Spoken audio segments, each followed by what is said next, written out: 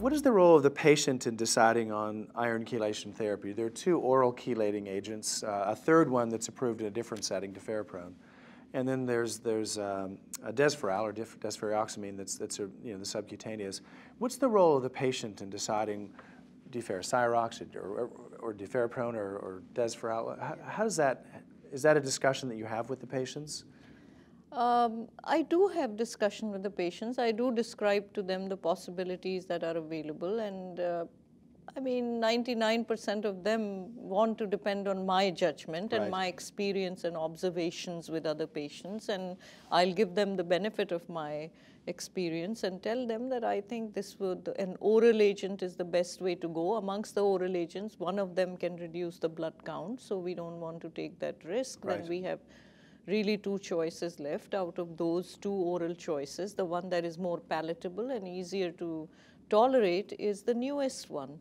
And so we have these discussions about uh, uh, various possibilities. I like that you have a discussion about that to yes. educate them as to why they're going through it. And I think you're lucky if 99% of your patients agree with you and defer to you because that's a higher percentage than my practice.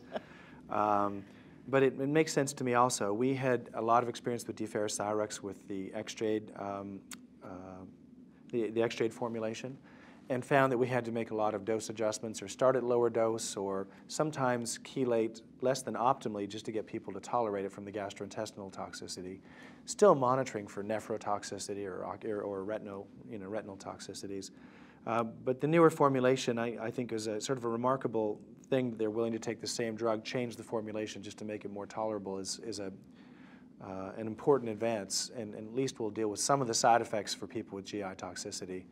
And I, um, I'm thinking about your patient, the, uh, the endocrinologist, um, who you ended up having him on both subcutaneous and oral chelation, and we've been in that, rarely, we've been in that situation as well, where we really needed to address iron overload and had to be more aggressive to do it. Uh, for tolerance, one or the other. It's an unusual situation, but that definitely happens. You know, another yeah. thing, James, I have suggested is that we should have testimonials from real patients who have been on iron chelation therapy for whom it has made a big difference that they are getting transfusion. I have a patient literally who is, I've been treating for 20 years. Last 11 years, James, she has been transfusion dependent, at least three, sometimes six units a month. That's a heavily transfusion dependent patient for 11 years. You know, she's just in the jungle of Amazons. She's traveling all over, gallivanting the globe going out to dinners. Why? Because she's so aggressive in her iron chelation. Ferritin level is never over 800. If it goes to 801, I get four calls from her saying, am I going to die? Because my ferritin is going up. But she's able to take the transfusion safely because she's so vigilant. And that, a testimonial from a patient like that would be so encouraging to those patients who are having second thoughts about it and, ah, I don't want to do it, no. Well, there is nihilism in our field that if we can't prove in a randomized study that some impact, you know, some intervention made a difference in survival or a hard endpoint, then people don't really want to do it if it has any expense or any toxicity. But I, I agree with you. That's a really important, um, a really important point.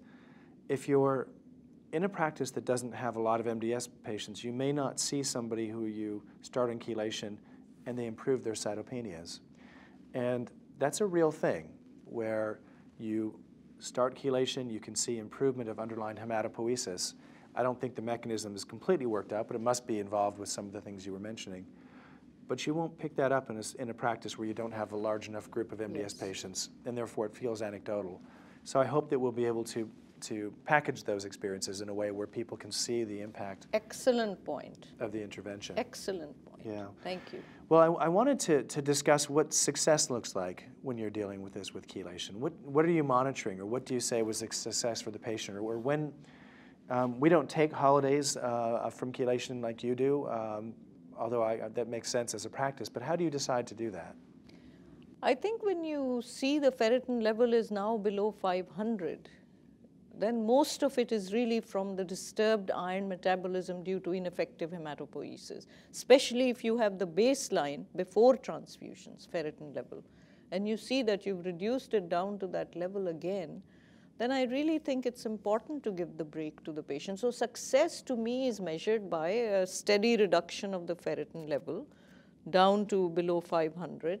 Secondly, improvement of cardiac and liver function, if that was affected to begin with. Third, improvement in cytopenias when they are getting no disease-modifying drugs could be attributed to nothing else but aggressive chelation therapy. So all those are indications of success of the therapy. No, we would follow a very similar practice. If we can get the ferritin down to less than 500, we'd be happy. And, you know, in hemochromatosis, for instance, we're trying to target a ferritin of 50 or 35, Yes, and that's a different, a different setting. That may not be realistic here.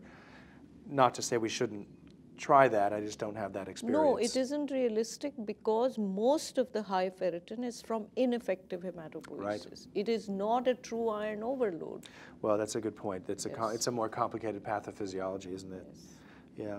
And so, how do you monitor prospectively for side effects or for toxicities in somebody who you're chelating? So, you're monitoring their ferritin every, I don't know how often you do that actually. We do it once a month. Monthly, okay. So, that's a little more frequent than other practices. So, you're very, you're dogged about it. And, and how do you monitor for toxicities? Are you checking renal function from time to time or, and do you, you have your patients see an ophthalmologist from time to time? All of the above. Yeah. Yes. Well, that, that makes sense. And I think that'll be an important point with the newer formulations because ironically, adherence will improve and therefore we'll have to be as aware or more aware of toxicity as patients are able to stay on the medications who couldn't tolerate from before from GI side effects.